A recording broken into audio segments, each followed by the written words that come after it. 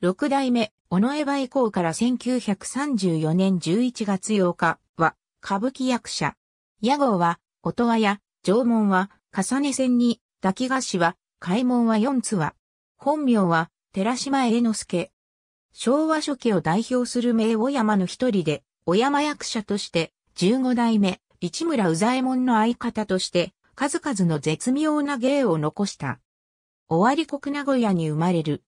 父は三代目、尾上菊五郎の孫、尾上朝次郎だというが、五代目、尾上菊五郎と名古屋の茶屋、信濃屋の芸妓、帝の子で、六代目、尾上菊五郎の異母兄とする説もある。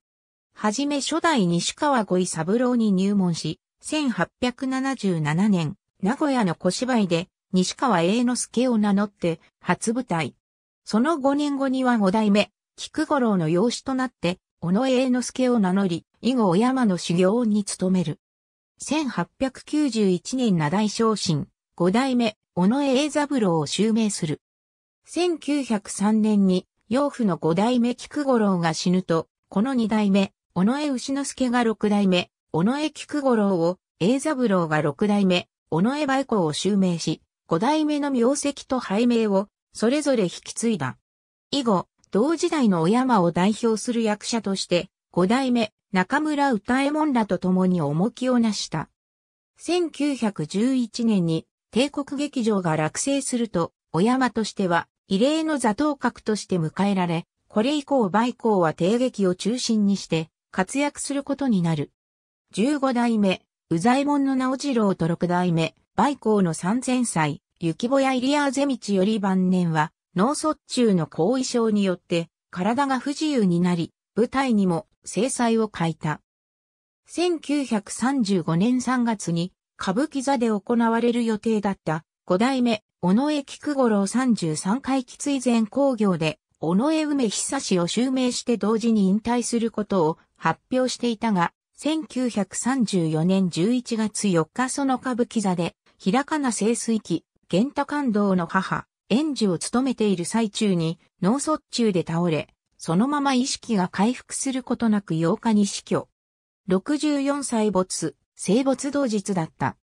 倒れた直後、楽屋に運ばれる途中で朦朧とした意識のうちにも裾の乱れを気にしていたことが逸話として伝わっている。芸に対する姿勢は紳士そのものであった。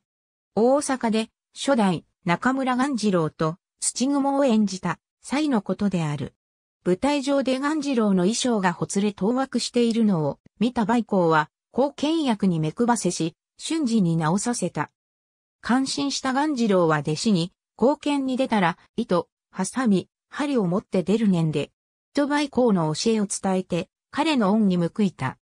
死後は、増子ヶ谷霊園に葬られたが、生前幾度となく、相方を務めた15代目宇左衛門が10年後に死去すると、彼も梅公の隣に葬られた。